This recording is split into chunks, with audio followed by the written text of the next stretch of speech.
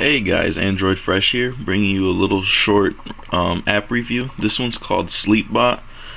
I don't know if anybody is like me, but I usually don't get a lot of sleep. As you can see right here, it says current uh, depths, sleep depths, basically like how many hours you need to make up. I have 14 hours. I don't I don't sleep much. I'm always on the move. That's why it's been taking me a little while to upload another video, but I'm trying to get better at it. But I just wanted to bring this app to you guys because it's pretty cool. I mean, I don't know how much how many guys may use it, but it's good for me because right here you click going to sleep, and it it just starts measuring from the time you push it till when you wake up. You could also set an alarm through it.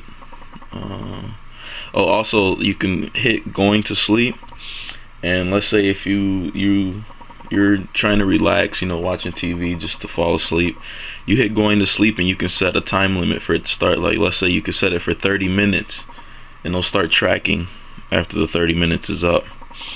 Uh, you can set alarms. Let me see where it's at. Um, you can set for it to ring only when you've had eight hours of sleep from the time you fell asleep there were just regular alarms also. You could set it avoid calls while you sleep.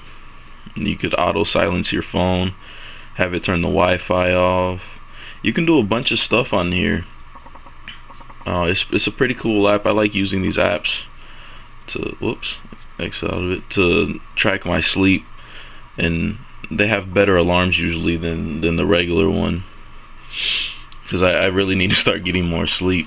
I that's one thing I need to start doing. It's not healthy to not get enough sleep. But yeah, it has little graphs here to show you how much you slept, you know, and, and stuff like that.